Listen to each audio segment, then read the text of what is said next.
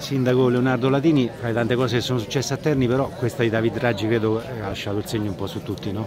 Ha lasciato il segno sotto tanti punti di vista, la tragicità delle, della morte ha colpito tutti, ma devo dire ha lasciato il segno anche perché ha in qualche modo eh, unito una città dietro una tragedia, dietro un dramma. È stato proprio il simbolo di una comunità che sa in qualche modo stringersi solidarmente anche nei momenti in cui sembra che tutto quanto diventi buio è entrata in quello che è un immaginario della, nella storia della, della nostra città con tutto il suo portato tragico e però questo è un eh, piccolo segno, un piccolo segno che la città comunque è riconoscente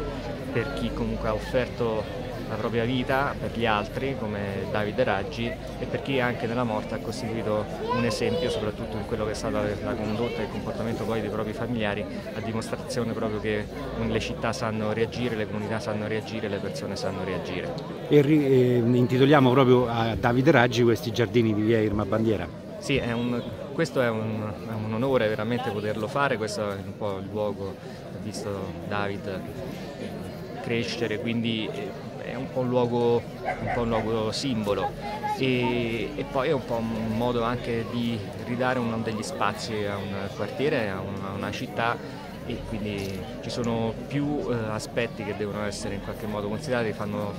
fanno sì che oggi sia per fortuna nelle varie giornate di pioggia una giornata di sole. Con l'ultima cosa Sindaco ha avuto modo di parlare con la famiglia? Sì, io con il papà ci parlo spesso, abbiamo un ottimo rapporto anche con il fratello, la mamma l'ho conosciuta oggi chiaro eh, loro portano i segni indelebili de, dell'accaduto ma hanno anche saputo reagire con una forza, un uh, coraggio che solo le persone di profondo spessore, di profondo valore possono mettere in campo nei momenti tristi e drammatici delle, delle vite. Grazie Sindaco.